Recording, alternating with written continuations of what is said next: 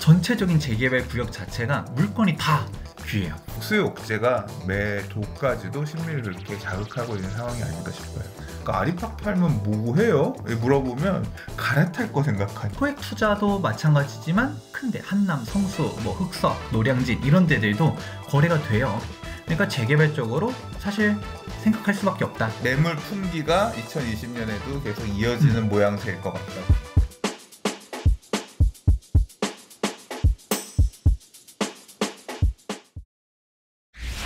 좋아요와 구독하기는 사랑입니다. 안녕하세요. 반갑습니다. 부동산입니다. 새해가 밝았어요. 2020년 새해 오늘 또 투미 김재경 소장님이랑 재개발 시장 관련된 얘기 하려고 이렇게 자리를 마련했습니다. 안녕하세요. 네, 안녕하세요. 부동산 주치 김재경 소장입니다. 반갑습니다. 네, 12, 16 대책 나오고 나서 이제 지금 6주 한 7주 정도 지났는데 부동산 시장 분위기도 궁금하고 특히 재개발 시장 12, 16 이후에 재개발 시장 어떻게 움직이나 이런 거 궁금해서 따로 여쭤보기도 했고 별도로 얘기 나눠본 적도 있긴 합니다만 지난 텀에도 그랬거든요. 9.13 부동산 대책 이후에도 실질적으로 뭐 6주 정도 지나고 나서부터 본격적으로 가격 안정세가 이루어졌던 것처럼 이번에도 그럴 것이다. 뭐 국토부에서도 이제 그런 식으로 얘기하고 했는데 재개발 시장에도 영향 여파가 미치고 있는지 시장 동향 어, 시장 참여자들, 매도인 또는 매수인들은 어떻게 움직이는지 궁금해하실 분들 계실 거라고 생각해서 이렇게 오늘 별도 주제로 한번 뽑아봤어요. 오늘 처음에 얘기했었던 주제는 딱 한 두 가지 정도가 있어요. 오늘 얘기된 게 첫 번째는 현재 2020년도 상반기 현 재개발 시장 분위기는 어떻게 되고 있냐, 12, 16 대책에 대한 영향이 어떻게 펼쳐지고 있는지 이런 부분에 대해서도 얘기해 볼까 하고요. 두 번째 파트에서 이야기할 부분은 바로 2019년도 3월 달에 영상 올린 게 있더라고요. 3월 달에 재개발 시장에 대한 얘기도 하면서 저평가된 재개발 지역, 정확히 말하면 지금 현재 주목하면 좋을 재개발 지역 top 3, 세 개의 구역을 선정해서 얘기를 했었었는데 걔가 어떻게 됐는지 2부에서 이야기해 보려고 합니다. 1년 전에 했었던 영상을 한번 들어봤었어요. 그 때와 지금의 온도 차이가 확연하게 다르다라는 것을 느끼게 됐었습니다. 우선 그때 영상이 한 3월 달에 올라갔었는데 대략적인 내용 기억나시나요? 그 당시는 공포가 지배하던 시절이었어요. 그래서 저 카페 분위기를 기억하죠. 음. 어, 뭐 어떻게 될 것이다. 한편으로는 그 당시에 강남 쪽에 지금 금매들 팔릴 것들 팔리고 있다 이런 얘기도 돌던 시절이었거든요. 근데 재개발 시장에도 찬바람 좀 어느 정도 부는 부분이 있었던 시절이고 이제 그때 어떻게 보면 지금 와서 생각해 보면 기회였을 수도 있는데 지금 뭐 그 말씀하신 거 보면 그때랑 지금이랑 온도 차이가 크다는 거는 그렇죠. 지금은 뭐 이미 결론 났네. 일단은 결론만 먼저 얘기해 드리자면 지금 현재 분위기는 특별하게 가격이 오르진 않아요. 일단은 음. 멈췄어요. 보합이라고 보면 되는데 지금 시장 동향 자체가 매수자들이 연락이 와요. 물론 이전보다 비교했을 때는 반토막이 난 건 사실이에요. 매수 문의 숫자는 그쵸. 하지만 매수 문의가 오고요. 9.13 대책 나오고서의 그때 당시 분위기랑 비교해 봤을 때 그때 당시는 매수자 연락도 아예 뚝 끊겼고요. 그때는 아예 그냥 바람도 안 불었는데 지금은 음. 살살 바람 불어오는 게 느껴지긴 그렇죠? 한다. 예. 거기다가 일단은 매도자들이 안 팔아요. 매도자들이 안 팔려고 하고 물건이 없어요. 물건이 전체적으로 다 귀하다. 음. 2019년도 얘기를 좀 더 얘기해 볼게요. 그때 당시에는 아마 부동산님께서도 카페 동향 같은 것들 잘 체크하시고 하다 보니까 잘 기억나시겠지만 그때 제가 영상 찍었었던 거를 한번 들어보니까 재개발 시장 동향이 어떠냐 이런 얘기를 했었을 때 지금 거래가 멈췄다는 얘기를 했었을 거예요.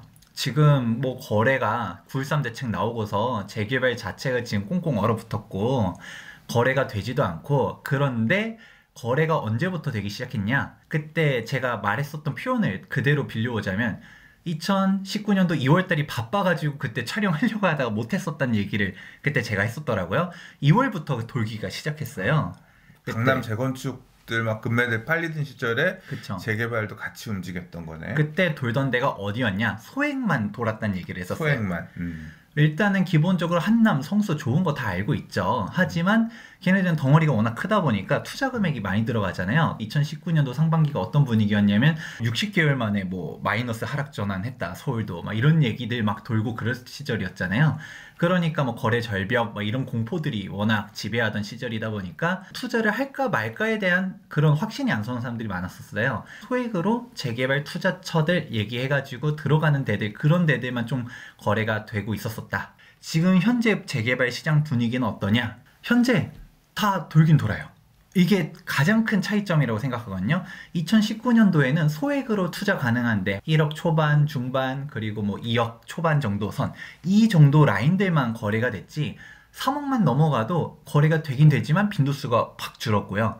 그 다음에 한 4, 5억 넘어가는 데들은 아예 거래가 거의 없다. 근데 지금은 뭐 소액 투자도 마찬가지지만 큰데 한남, 성수, 뭐 흑석, 노량진 이런 데들도 거래가 돼요. 빈도수가 줄어서 그렇지 거래가 되긴 된다라는 게 가장 큰 차이점으로 보고 있고요. 분위기 자체가 매도자들이 이전에도 9.13 대책 나왔었을 때 굳이 팔아야 되나? 그런 생각을 하는 사람들이 많긴 했었어요. 하지만 우리가 어쩔 수 없이 팔아야 되는 사람들 있잖아요. 대책 나오면 세금 관계 문제라든지 아니면 내 진짜 자금 때문에 어쩔 수 없이 팔아야 되는 사람들이 가격을 싸게 내놨었고 실제로 재개발 시장 가격들이 전체적으로 못해도 한 3천에서 5천. 한남 같은 경우는 1억도 빠졌었거든요. 1억 빠졌다 그랬어요. 한남 네. 이런 데들은. 네. 그렇게도 빠졌었는데 지금은 가격이 안 빠져요. 가격이 빠지지도 않고 더 웃긴 게 매도자들이 아우 버티자 하면서 물건을 내놓지만 안 싸게 내놓는다 이런 개념이 아니라 전체적인 재개발 구역 자체가 물건이 다 귀해요. 정리하자면 매도 호가는 아직은 그렇게 낮아지지 않았고 매수는 절반으로 줄었는데 매물이 별로 많지 않고 의사합치가 되는 물건들은 지역에 상관없이 예전에는 소액만 움직였지만 소액뿐만 아니라 약간 더 높은 현금이 들어간 초기 투자 금액이 들어가는 재개발 매물들도 거래가 되고 있는 동향이다. 뭐 이렇게 요약하면 되겠네요. 좀 더 구체적으로 얘기하면 사실 호가가 내려가지는 않았고요. 지금 계속 보합, 오히려 일부 지역들 같은 경우는 조금씩 올라간다라고 볼 수가 있어요. 일단 매물 자체가 어느 현장을 가든 씨가 말랐다는 표현을 써요. 한남, 성수, 흑석 뭐 이런데 오히려 덩어리가 진짜 투자금이 큰 데들은 오히려 매물이 약간씩 있긴 해도 많다라고 표현할 수가 없고요. 진짜 몇 개 안 되고 있는 것들도 우리가 흔히 투자하는 그런 빌라 매물 이런 거가 아니라 덩어리가 큰 다가구, 통건물 막 이런 것들 one plus one 되는 이런 것들이 매물은 있지. 있는데 뭐 20억, 뭐 10몇 억, 뭐 이렇다는 손쉽게 들어갈 수 있을 네. 만한 그런 매물들은 지금 거의 없고요. 빌라 매물 이런 거는 되게 귀하구나. 네. 소액 비- 빌라들 이런 거. 가장 큰 차이점은 1216 대책 지금 나온 상태에서는 매수자들 연락이 이전만큼은 아니지만 오긴 온다는 얘기를 했었잖아요. 이 사람들이 그 와중에서 고민은 진짜 열심히 해가지고 그래도 사긴 사요. 조금씩 조금씩 오히려 올라가고는 있는데 지금 이런 상태. 매수자들은 지금 그런 생각을 하면서 전화는 와요. 지금 대책 나왔는데 지금 매수 타이밍 아닌가? 보니까 가격이 하나도 안 떨어졌잖아요. 안 빠지고 있는. 안 계속 빠졌으니까. 모니터링하고 작년에 이렇게 하반기 계속 봤던 매수하려고 봤던 사람들이 아 대책 나왔으니까 좀 빠지겠지 음. 생각하면서 계속 가격 흐름은 추이는 보고 있는데 물건들이 있는 것들이 있던 것들이 나가고 있고 또 물건 가격도 안 빠지는 모습이 계속 이어지면 좀 좁아짐이 생길 수도 있을 텐데 근데 아직 대마라고 할 수 있는 큰 시장 쪽에서 확실히 출렁임이 있잖아요 강남 재건축이나 강남의 고가주택들은 출렁임이 있다고 하면 이런 시장이 이어지면 재개발이라고 뭐 별 수 있나? 어? 꺾이는 거 아니에요? 강남에서 흔들리는 것 중 하나는 일단 강남 재건축 단지들이 일단 크게 흔들리면서 신축도 흔들리지. 신축도 흔들렸다라고 하지만 사실 가장 크게는 일단 재건축부터가 타격받고 실제로 우리가 몇 억 떨어졌다는 얘기 나오는 데들은 그렇죠. 강남 어, 재건축이거든요. 일단은 재건축이 더 많이 눈에 보이긴 하죠. 예. 그래서 재건축 초과이익 환수제라든지 2019년도 12월 달에 이제 하품 판결 나면서 그거에 대한 부분들도 이슈가 크게 되고 그랬었었는데 반사이익으로 다들 바로 떠올리는 거는 사실 재개발로서 생각할 수 있는 거거든요. 근데 이게 문제가 저희만 생각하는 게 아니라 소유자들은 그걸 더 생각하는 거예요. 어, 재개발은 안전한 거 아니야? 다들 이런 식으로 생각하면서 물건을 안 내놓다 보니까 문제는 매수자들은 지금 흔들리겠지 이런 생각 당연히 할 수 있어요. 저도 그거는 동의해요. 이전에 파리 대책 때도 그랬고 9.13 대책 때도 그랬고 진짜 대책 나오면 실제로 몇 천이라도 떨어지긴 떨어졌거든요.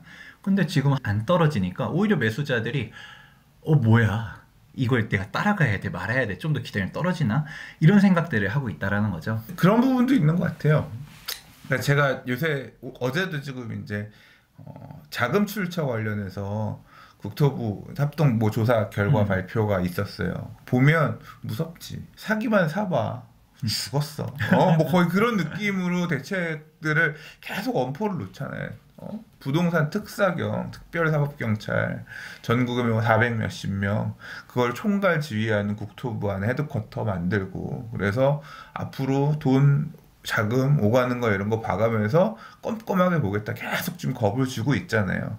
근데 이제 이런 내용이 나올 때 시장이 대응할 수 있는 게 두 가지인데, 사실 계속 이 말을 내놓는 거는 사지 말라요. 음. 수요 억제예요. 니들 씨, 돈 있는 거 꼼꼼하게 다 증빙 가능한 돈으로 아는 사람 다 죽어. 어? 우리 이렇게 볼 거야. 이상 걸다 볼 거야 하고 있는데 이게 뭘 잡냐면 매수자의 심리도 잡는데 또 하나 진짜 크게 잡는 게 있어요. 바로 매도자의 심리예요. 그러니까 매도자가 집을 팔면 아 맛있는 거 사 먹어야지 그럴까? 강남 쪽에 있는 부동산 중개업 하시는 사장님 아크로리버파크 그 말 그대로 대한민국 top tier의 주거 지역에서 중개업 한 사장님하고 얘기를 하는데 진짜 놀랐어요. 연세가 50, 60대이신 분들이 와서 상담할 때 아 거기는 이제 연세 많으시고 하니까 아리팍 팔면 뭐 해요? 물어보면 갈아탈 거 생각한대. 그 옆에. 그러니까 결국은 그거야. 부동산으로 자산을 일구신 분이 결국 부동산 투자로 가장 성공해 본 거잖아요. 그렇게 30억짜리 아파트가 됐는데 그걸 팔고 양도세 내고 진 돈으로 뭔가 이만큼 먹을 거 먹었으니까 내가 갈아탈 게 뭔가 있나 이걸 고민한다는 거예요. 그분들도. 근데 그게 막히니까 아 이게 갈 데가 없구나. 그냥 들고 있어야지. 그 계산이 당연히 이 재개발 하위 주택 시장에 갖고 있는 사람들도 결국 지금 추진되고 있는 재개발 구역에 조합원 물건들 또는 뭐 재개발 구역의 주택들 팔면 뭐 하겠어요? 깎아 사 먹을 거야? 소고기 사 먹을 거야? 결국 바꿀 땐 뭘 해야 돼? 주택을 사야 되잖아요. 살려면 뭘 해야 돼? 자금 증빙을 해야 돼. 그러려면 대출도 막히고 또는 만약에 내가 이걸 해야, 해오는 과정에서 뭔가 약간 부족한 부분이 있었다거나 왜냐하면 이 법에서 얘기하고 있는 맨날 얘기는 하지만 디테일하게 이게 뭐가 잘했는지 잘못했는지 이걸 하나하나 다 검토를 해서 아무 문제가 없다라는 그 판단을 받기가 쉽지가 않잖아요. 나도 잘 모르잖아. 그러니까 매도인들도 아 이렇게 세상에서 뭐라고 할 때는 그냥 가만히 있자. 가만히 있으면 중박이라도 간다. 이런 판단을 할 수밖에 없게끔. 그러니까 지금 계속 이렇게 매수를 몰아치는 매수 억제책을 쓰면 쓸수록 팔고 갈아타려고 하는 이 기존의 주 투자자들의 마음도 꽁꽁 얼어붙게 하면서 매물을 잠기게 하는 그런 효과로 나타날 거라고 생각이 돼요. 재개발 시장에서 왜 매물이 별로 없냐. 결국 수요 억제가 매도까지도 심리를 그렇게 자극하고 있는 상황이 아닌가 싶어요. 진짜 정확한 말 중 하나라고 생각이 돼요. 저희도 상담을 정말 많이 받는 것 중 하나가 매수자에 대한 상담도 있지만 매도자들도 상담 많이 한단 말이에요. 매도자들이 이거 팔고 딴 데로 갈아타야 되는데 재개발 시장 같은 경우는 예전에 사지 않았었다면 지금 17년도 파리 대책 이후로 산 사람들은 2년 거주를 채워야지 비가 되잖아요. 근데 재개발에서 거주 요건 채우기가 만만치가 않죠. 없지. 그렇다 보니까 사실상 세금을 내야 돼요. 그러면 내가 아무리 양도 차익이 뭐 3억이 올랐어, 5억이 올랐어 라고 해도 세금 내고 나면 남는 돈은 거기서 또 줄어들고 그렇게 얻은 돈에서 좀 더 보태가지고 딴 데를 가려고 보니까 매물도 마땅치 않아. 애초에 이걸 판다라는 거는 그냥 같은 라인에서 움직이는 게 아니라 평행 이동이 아니라 원래 뭐- 상급지로 이동하려고 산- 파는 거죠. 상급지로 이동하려고 파는데 내가 이거 팔아도 상급지로 못 올라가. 예전 같은 경우는 그래도 좀 대출이라든지 다른 거를 갖다가 좀 더 끌어당겨가지고 상급지로 넘어가서 내가 가지고 있어도 올라는 가겠지만 얘는 더 올라갈 걸로 보이니까 내가 여기로 갈아탈래 이런 것들이 있어야 되는데 지금은 갈아타는 것 자체가 대출 막히고 명확하게 하지 않으면 땡겨올 수도 없고 그러다 보니까 지금 내가 소명할 수 있는 건 내가 이거 판 돈. 이거 가지고서는 못 갈아타는 거죠. 그러니까 얘기하면 할수록 그거 같아요. 시장이 이런 규제나 허들이 거래 비용 높아지는 허들이 늘어나면서 시장이 작동하기 힘들게끔 거래 비용이 늘어나고 거래 제한이 생기고 하면서 시장이 작동 안 하니까 매물이 더 나오지 않는 뭐 그런 상황을 더 만들고 있는 것 같아요. 좀 아쉬운 대목입니다. 그렇다 보니까 방금 전에 얘기했었던 것과 같이 매도자들이 굳이 얘가 안 올릴 건 아니에요. 얘도 더 올라갈 것 같고 재개발 좋을 것 같아.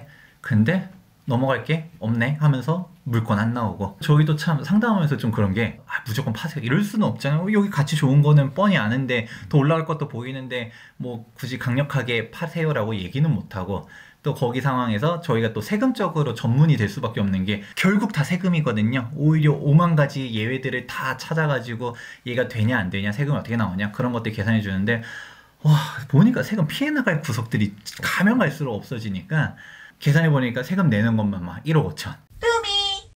2020년 초에 재개발 시장의 분위기는 얼추 뭐 다 요약이 된 것 같아요. 그러니까 아쉬우니까 음. 하나 더 여쭤보면 2020년도 재개발 투자, 재개발의 트렌드 뭐 어떤 거 있을까요?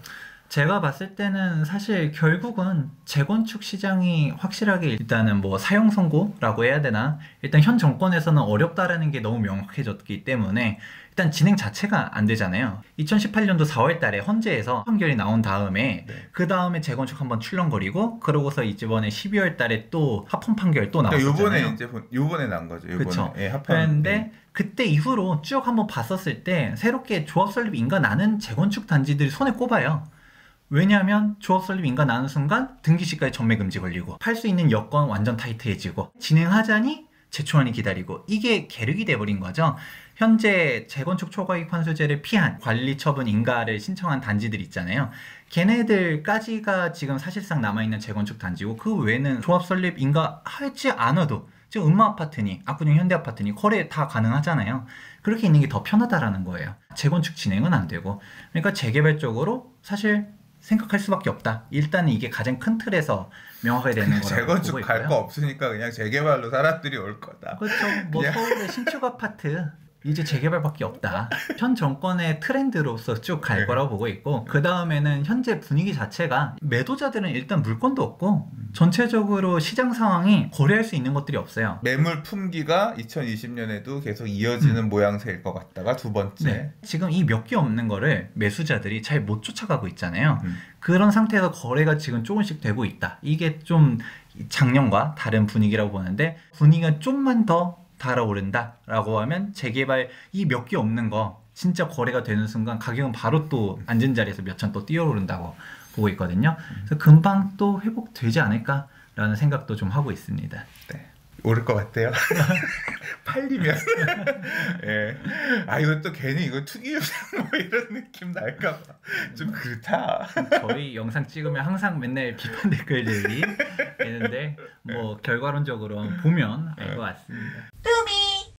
작년 연말에 빵 질렀잖아요. 아리팍 40억, 마레프 20억. 그걸 연말에 두고 보자 그랬는데 어 초조해 질 거야. 아직 시간이 많이 남았으니까. 어 재개발 올라간다. 어, 지금 막 얼굴에 지금 웃음기가 이게 웃는 게 웃는 게 아니야.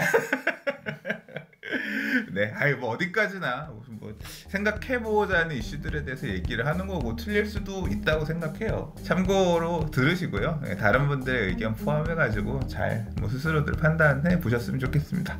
자, 그럼 1부 얘기는 이 정도에서 마무리하도록 하고요. 2부에서 지난해 초에 되게 좀 눈여겨볼 만한 소액으로 움직일 수 있었던 저평가 재개발 구역들 지금 어떻게 1년 뒤에 변했는지 2부에서 얘기해 보도록 할게요. 그러면 다음 회차에서 뵙도록 하겠습니다.